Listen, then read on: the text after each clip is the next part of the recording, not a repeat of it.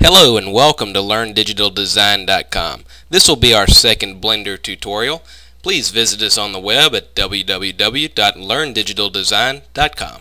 We're going to go over some of the menus and just how you navigate around throughout Blender. If you already are real familiar with how to navigate through Blender, you can go ahead and skip this and move ahead to a further, uh, more advanced lesson. So um, let's get started. Now you notice here with the way I have Blender set up, it probably looks a little bit different than what yours looks like right out of the box. You can see that I have the uh, different views here. They all do look the same as far as these three and this one, but they are somewhat different.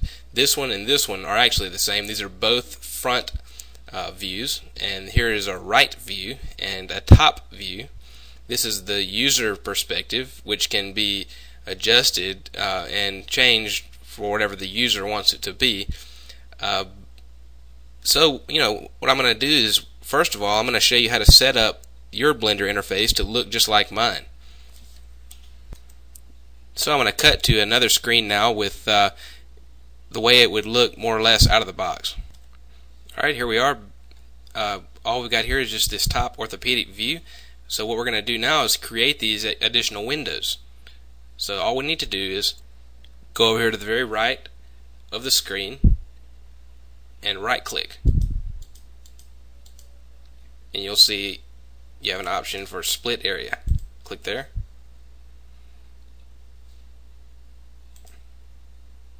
Now see what that did was split our area into two separate areas. And now you can manipulate both these windows individually. But actually I wanted to split it vertically. So let me uh, show you how to undo this and then we'll split it vertically. See here where we got the double-headed arrow here in the middle. Right click, go to join areas and it gives you an option to decide which side you want to join to. Doesn't matter because they're both the same in this instance. Okay, now let's split vertically. Go up here to the top where you get the double-headed arrow, right click, split area. Now you can choose where that line's going to be. Now I want to do it again.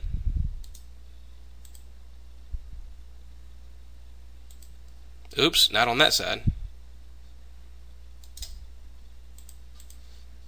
Let's do it over here. Split area.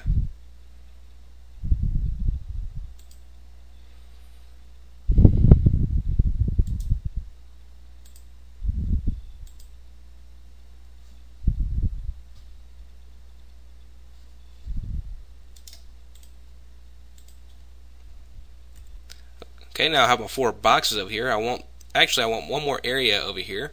So I'm going to go over here to split area.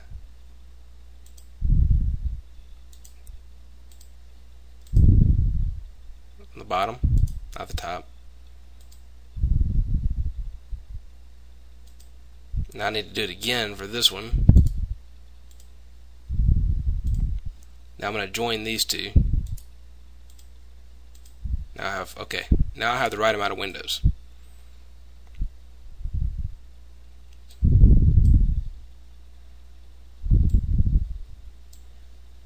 Get them sized out the way I kind of like it.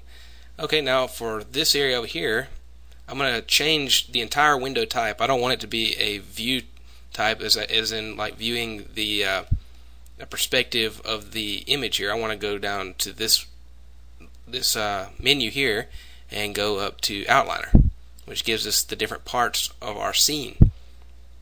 Now in this area I want to zoom in a little bit and let's make this the front ortho. The way we're going to do that is go to view front. Let's make this one the uh, view side. Zoom in. View it's already on top. Zoom in a little bit and do this one view user. And we can just adjust that however we want it to be. And there we go. More or less this is how my screen is set up. So for future tutorials you will have your screen set up exactly the same as mine. If you wish. If not you don't have to. It's up to you. But now uh, this will uh, avoid me getting a lot of emails on how to set up your screen exactly like mine because I know that that's something that a lot of uh, new users might want to do. So uh, that, that's going to be about all the time we're going to have for this video. I'll see you in the next tutorial. Here at the end of our video, I'm going to go ahead and indulge in a little bit of shameless self-promotion. And then we're going to talk about some new things that are available on Learn Digital Design. First of all, down at the bottom of the main index part of the site, you can see that there are site updates now that are updated whenever we add something new to the site, including blogs, um, new videos, or just announcements. And uh, what we're really proud of here, that we have just about got ready here, is uh, the forums section of our site. You can click here at forums, and now we've got an area down here where we have all these different uh, forum areas that you can go to, and you can uh, introduce yourself. You can talk about Inkscape, GIMP, Blender, other open source design software, or even proprietary software if you wish. And uh, you know, this is just a nice community area that we're putting together where all digital designers can come together and discuss whatever they want about digital design. And uh, that's going to be it for today. I'll see you in the next tutorial.